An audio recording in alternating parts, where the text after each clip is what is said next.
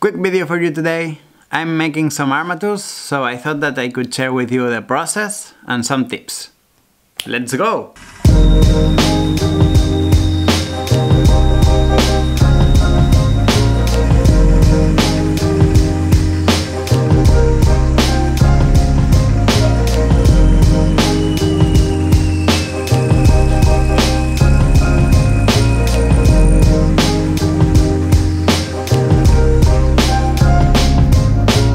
Something that I find very important is to draw or print your puppet at real scale.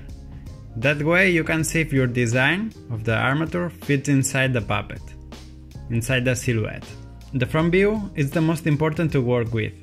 You have to work with the arms and legs completely extended to have the right measurements. Here you can see that this joint doesn't fit in the design. This one is also really really close to touch the edges so for this particular case, I will use a really really tiny hinge joint like the ones that you can find in the glasses and that way I will fit inside the measurements of this puppet. It's the first time that I'm using those parts to make hinge joints. I'm not sure if they will work fine or not. They are so tiny.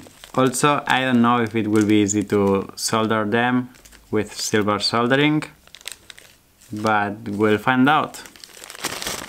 This one is the test that I soldered before to test if it works or not and to see if it fits in dimensions and it does. That's why you want to print the puppet design in real scale so you can lay out everything here in place it's better to use joints to measure everything and the big rule is measure twice and cut once.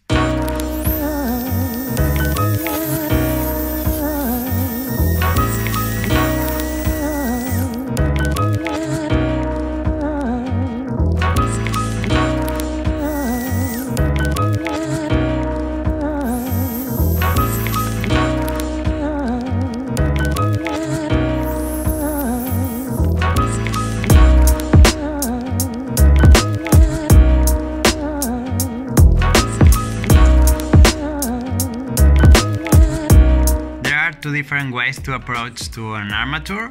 One of them is like getting all the joints from a supplier and then solder all the puppet.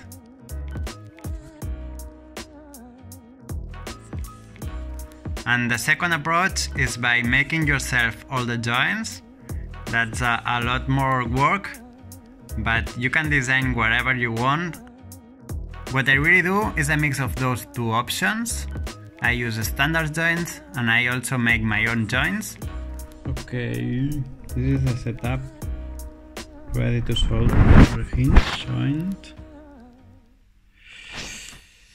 Now I will use the torch here and let's see how it works.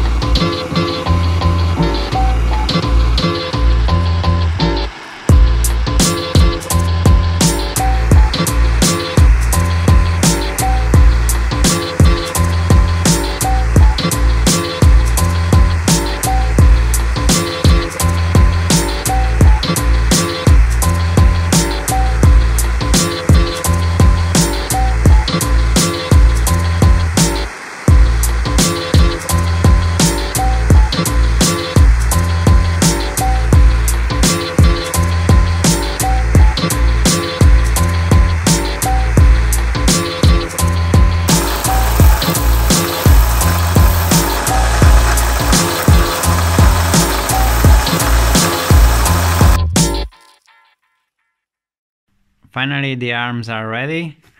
I really like this design because you can fold the arm like so, but you can also twist. I really like these tiny tiny parts from the glasses. I think they work really really nice. It's pretty difficult to silver solder them because they are so tiny, but once you get the way you can make the soldering, it works pretty smooth. That's it for today. Hope you liked the process on making this little arm. If you like this video and my content, please subscribe, click the bell to be aware of new videos. If you have any question, leave it down below in the comments. And if you wanna help the channel, visit my Patreon, there you can find the stickers. That's it, peace!